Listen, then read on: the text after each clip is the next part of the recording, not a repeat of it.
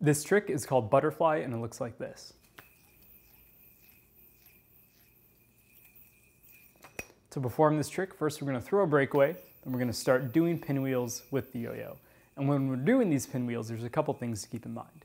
The first is that you want the counterweight string and the yo-yo string to be exactly the same length, or when you're first learning this trick, have the counterweight string just an inch or two longer than the yo-yo string to reduce the chance of collisions.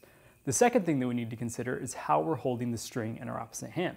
So we want the counterweight string pinched between our thumb and our pointer finger, and we want the yo-yo string pinched between our middle finger and our pointer finger. That hold just helps separate the two strings to make controlling the trick much easier.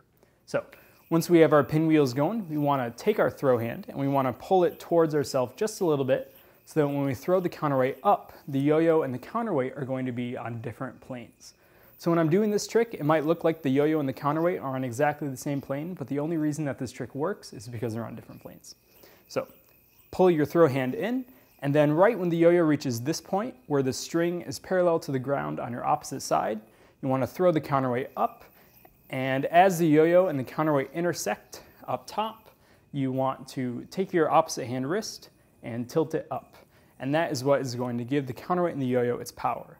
Then as the yo-yo and the counterweight continue on their arcs, you want to point your wrist down when the yo-yo and the counterweight intersect on the bottom. Then you just want to practice this up and down motion with your wrist so that the trick can go as long as you want it to.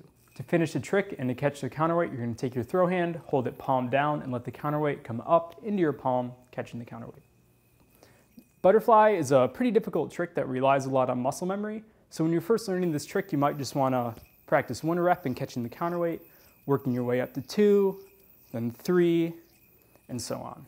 And that is butterfly.